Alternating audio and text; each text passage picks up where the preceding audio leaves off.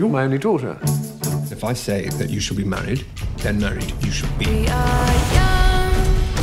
Where is the Lady Catherine? I've come here to propose marriage. A man has come and asked for me by name. You cannot mean Our Lady Catherine. She's a vile creature.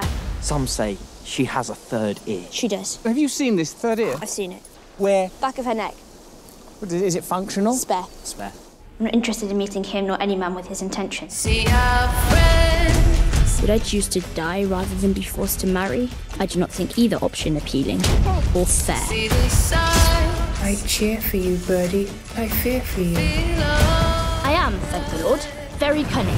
Most girls are, though we're not given due credit for it.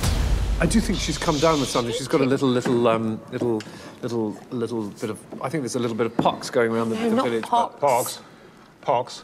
No, I mean it's not around the village. Oh, we best No, you don't need to go. It's not a big pox. It's a small it? pox. It's, It's not small pox. It's a big not pox. It's only a small little pox. You'd like to go anywhere your father isn't. Men are horribly duplicitous creatures. Oh, my God. Make it stop. I can't control it. It's close to my face. You have wings. You must learn how to harness them. You don't get to decide who we are, where we go, or how much we cost. Like we're just things. We're not things. We're people. And we can think, and we can hear, and we can feel. But we are here. I wish I could help every girl in the world. Knowing your own story will be your salvation. But for now, I am enough.